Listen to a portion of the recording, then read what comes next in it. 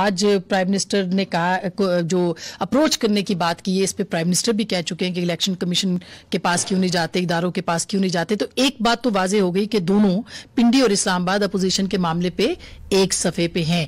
क्या आपको लगता है कि ज़रूरत क्यों महसूस हुई डीजीएसपीआर को बहुत सारी वजाहत देने की, मुख्तलिफ़ मौजूद के ऊपर, जो कि अच्छी बात है बाय द वे देखिए, पहली बात तो ये कि ये कॉमन सेंस की बात है कि जब हम अपने धरने को जब हम अपनी एजिटेशन को कंपेयर करते हैं जो पीडीएम कह रही है वो ये है कि जब हम सड़कों पे निकले थे तो उससे पहले हमने सारे वो लीगल फोरम्स एग्जॉस्ट किए थे।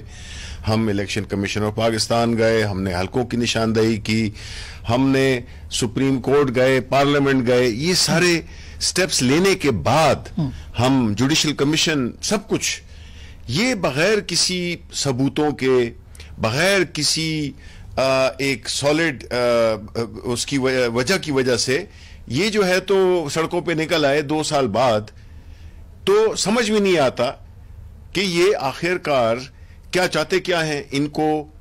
ये तो या तो ये होना कि एक मुल्क है जिसमें कोई इदारे ही नहीं है वो इदारे इन्होंने ही बनाए हुए हैं इन्हीं के इन्होंने ही पाला पोसा है हम्म। इन्होंने ही नैब चेयरमैन बनाए इन्होंने ही सब कुछ किया अब अगर नतज इनकी मर्ज़ी के मुताबिक नहीं आए तो उसमें ये सारी एक पूरे मुल्क को एक नाकाम तरीके से जो है ना उसमें एक ऐसा हैजान पैदा करना एक ऐसा अनसर्टिनिटी पैदा करना उसकी कोई न तो कोई नज़ीर मिलती है और ना उसकी कोई पजीराई इसी वजह से नहीं हुई है हम्म।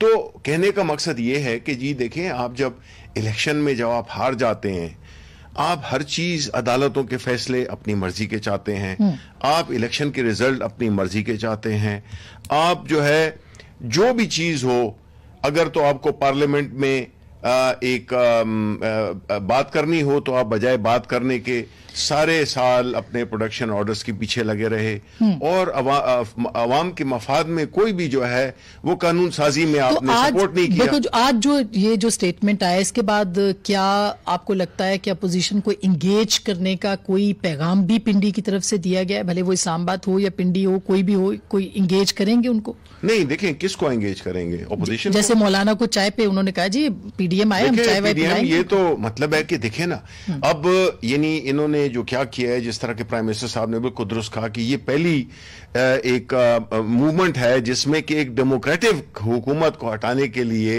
एक गैर डेमोक्रेटिक तरीकाकार की सजेशन दी जा रही है ये तो कभी हमने नहीं देखा हम्म। हमने भी अपने कई वो देखे हैं सेवेंटी से लेकर और अब तक की जितनी भी मूवमेंट्स हुई हैं उसमें कभी ये हुआ नहीं है हम्म।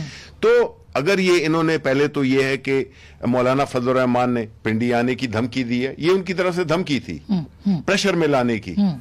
दूसरी तरफ़ वो कहते हैं कि मैं नैब के ऊपर सारी पार्टी जाएगी और नैब के सामने धरना देंगे फिर हम इलेक्शन कमीशन ऑफ़ पाकिस्तान के सामने धरना देंगे। बात यह है कि ये सारी बातें एक जमहूरी लोग कर रहे हैं जो अपने आप को जमहूरी करते हैं।